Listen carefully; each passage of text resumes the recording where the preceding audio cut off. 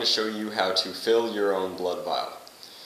To do this, you're going to need a hot glue gun with a hot glue stick. You're going to need a dropper. You're going to need a lancet. You're going to need some sort of storage container. You're going to need a chain, preferably silver, and the kit that they're going to send you. In this kit, you're going to get a little plastic bag. And in that plastic bag, you're going to get the fang vial,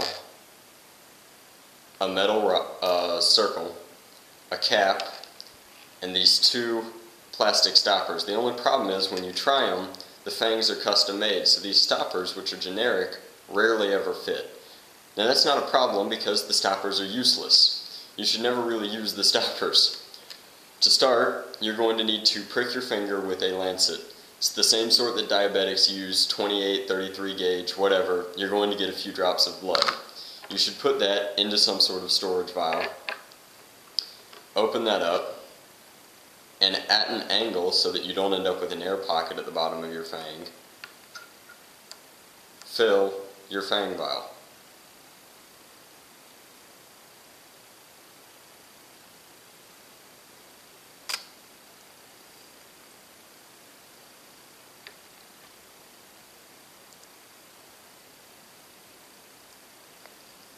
After you've got it mostly filled,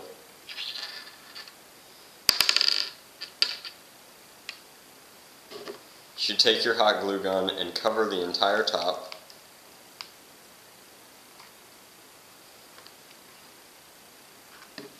And then place your cap over it. You want to do this quickly so you get a good seal.